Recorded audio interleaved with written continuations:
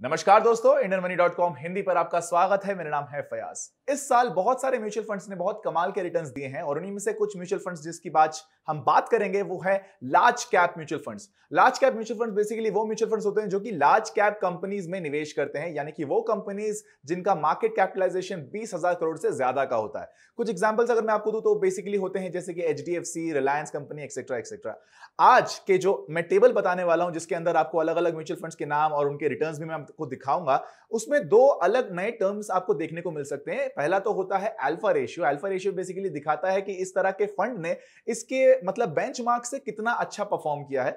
और दूसरा होता है beta ratio beta ratio basically ये दिखाता है कि इस तरह का फंड कितना ज़्यादा डिपेंडेबल है। अगर बीटा रेशियो वन से ज़्यादा है तो ये दिखाता है कि ये फंड ज़्यादा मतलब डिपेंडेबल नहीं है और ये ज़्यादा फ्लक्चुएटिंग फंड है। तो बीटा रेशियो आमतौर पर ज़ीरो से एक के बीच में होता है एक से कम ही होता है और अल्फ़ा रेशियो यहाँ पर बीटा रेशियो से हमेशा ज़्यादा होता है। जब मैं टेबल दिखाऊँगा तो आपको ज़्यादा बेहतर समझ में आएगा तो चलिए बिना किसी देरी के सीधा टेबल की ओर रुख करते हैं। सबसे पहला फंड इस लिस्ट में आता है एक्सिस ब्लू चिप फंड का। इसका असेट अंडर मैनेजमेंट यहाँ पर 18,283 करोड़ रुपीस का है।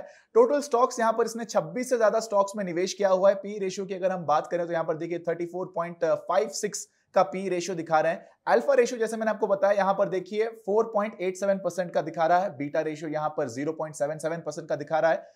रिटर्न्स की अगर हम लोग बात करें तो यहाँ पर वन ईयर में 13.27 का रिटर्न दिया है, दो साल में 13.67 का, और पाँच साल में 13.80 का रिटर्न मिला है। बात करें अगर अगले फंड की तो वो है Mirae asset large cap fund. यहाँ पर इसका भी असेट अंडर मैनेजमेंट लगभग 18,999 करोड़ रुपीस का है। यहाँ पर इसने बावन से ज़्यादा कंपनीज़ में निवेश किया हुआ है। इसका पी रेशियो भी यहाँ पर 23.85 का दिखा रहा है।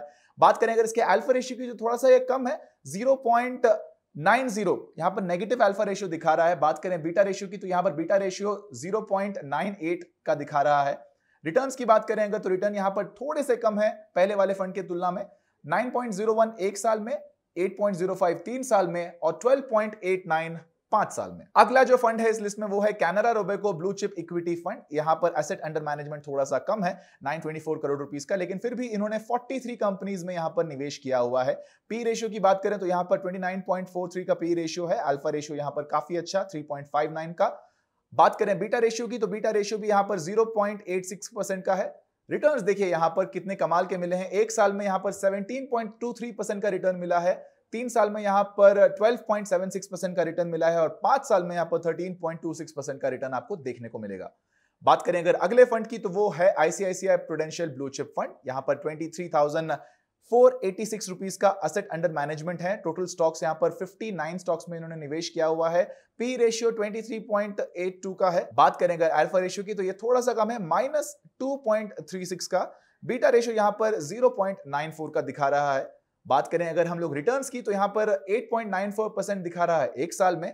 6.71 परसेंट दिखा रहा है तीन साल में।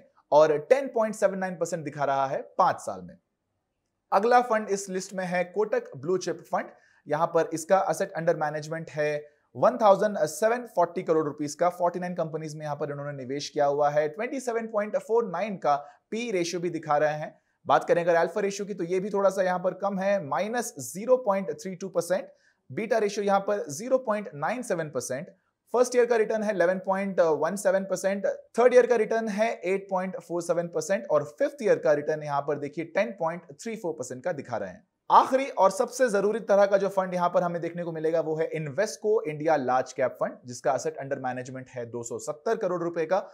यहाँ पर टोटल स्टॉक्स 34 स्टॉक्स में यहाँ पर उन्होंने निवेश किया है, पी रेशियो यहाँ पर 27.79 का है, अल्फ़ा रेशियो यहाँ पर अगेन नेगेटिव है, माइनस 1.46 का और बीटा रेशियो यहाँ पर है 0.95 का। बात करें अगर रिटर्न्स की तो यहाँ पर 8.91 परसेंट का रिटर्न आपको मिलेगा एक साल में।